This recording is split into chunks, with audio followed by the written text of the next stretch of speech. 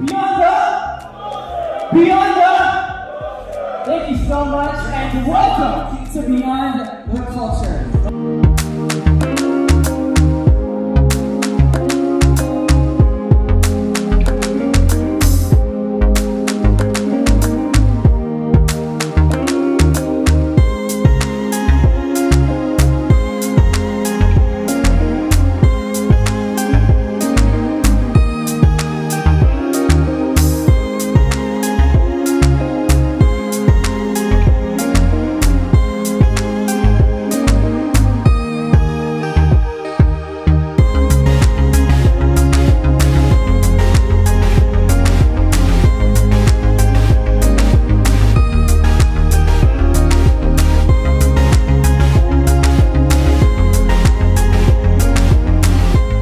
Ito yung shirt para kay Mr. of the Uncle, Grabe Yamat. Maganda siya and check out the artwork. Tugmang-tugma sa normal streetwear style.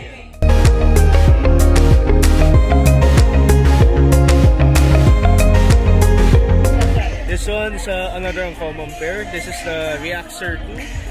And check out that offer. Funky details. And nice new material for the majority of the offer.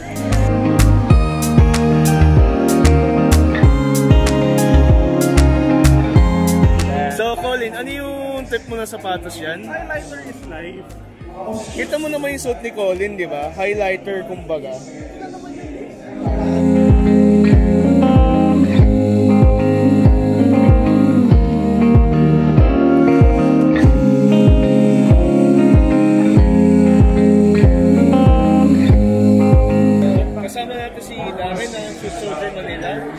Interview lang, sa lahat ng benta mo, ano yung pinaka-unique na pair para sa'yo?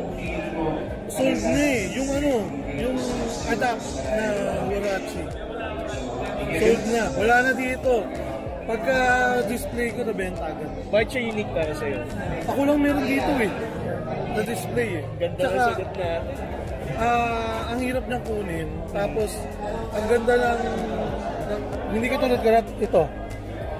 Ah, adapt din siya, pero ang bagay niya, yun sobrang sexy. Talagang parang, parang Warachi lang din, na regular.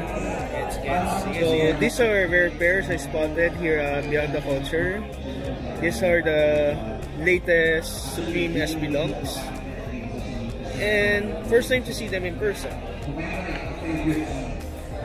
And there are more dunks here, which for me it's a refreshing sight because madala may nagbebenta ng SB Dunks sa mga sneaker resellers dito sa Pilipinas.